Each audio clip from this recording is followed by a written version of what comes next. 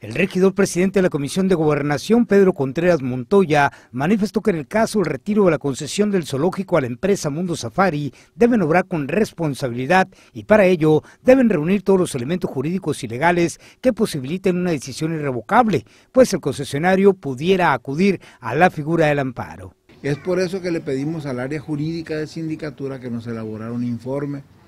que se auxiliara de quien fuera necesario, de, DIF, de, desarrollo urbano, de quien pudiera, para que elaborara un dictamen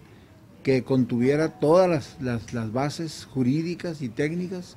este, y ya la comisión entonces sí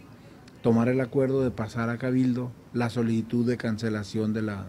concesión. Contreras Montoya declaró que en su experiencia sí existen causales para anular la concesión, ya que las condiciones que confinan a los animales no son las óptimas para su cautiverio. Con pérdida de peso, con, maltrato a la vista,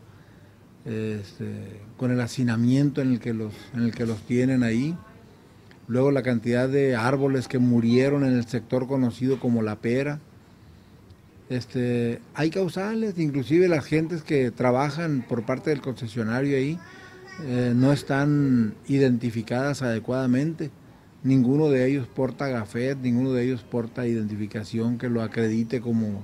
representante del concesionario. El edil panista sentenció que elementos hay, ya sea para una cancelación o para emitir un ultimátum al concesionario, quien deberá primero resolver las condiciones impuestas por Profepa y Semarnat luego de la clausura temporal.